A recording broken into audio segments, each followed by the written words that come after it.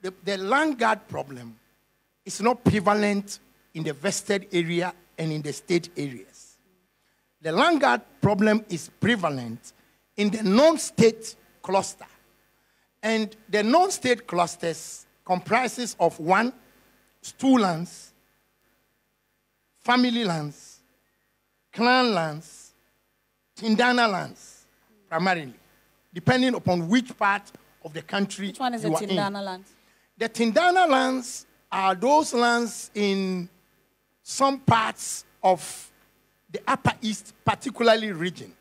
So the areas around Bolga, the lands are not stool lands the way we know lands to be controlled by stools. So if you go to Bolga and you are looking for land to build, you don't go to the Bolga Naba.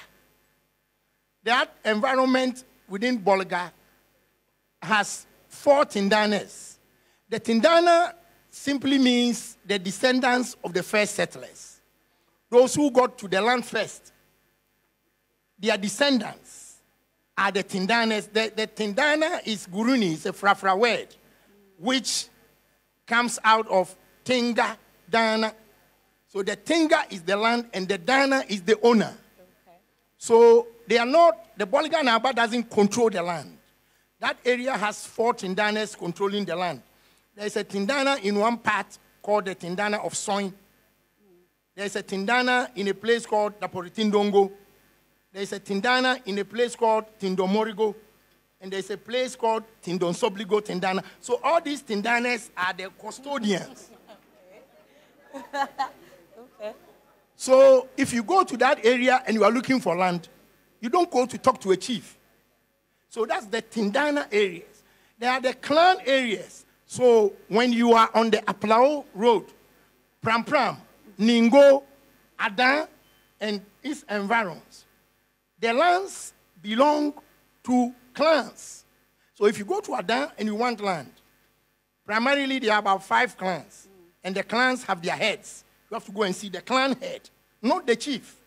So, for example, you could find Adibiawe, Akabiawe, Dangbebiawe, Tepebiawe, Lomobiawe.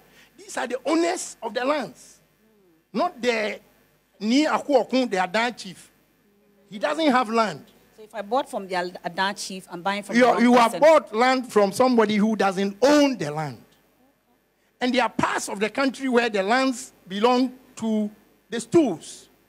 You know, so our stools are those customary entities uh, represented by a chief who is supposed or expected to be acting like the managing director. So in our constitution, references to a chief includes a skin. So if you go up north, the traditional authorities don't sit on stools, they sit on skins.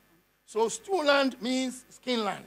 When you get to a stool land area or a skin land area, so if you go to Dagbon, it's a skin land area. If you go to the Mamprusi areas, skin land. So over there, you negotiate with the occupant of a skin, Okay. not a Tindana. Mm.